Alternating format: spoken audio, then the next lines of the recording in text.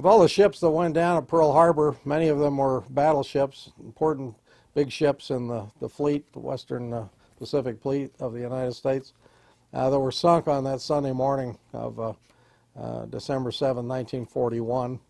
Uh, none is more colorful than the USS Arizona. Part of the reason for that, I think, is the Arizona was the flagship for President uh, Hoover at one time um, back in the 20s. I have here a little farewell dance program from the USS Arizona. Uh, this was, though, back in uh, 1929, so it's uh, about 12 years before the, uh, the, Pearl Harbor attack. But this time, the, the ship was uh, considered the flagship of the President of the United States. I also have, as part of this, um, an interesting little note. It's the only one I've seen from a trooper that was actually wounded at Pearl Harbor writing his folks the next day. And the, uh, the postmark on this is December 8th, 1941. it's not a long note.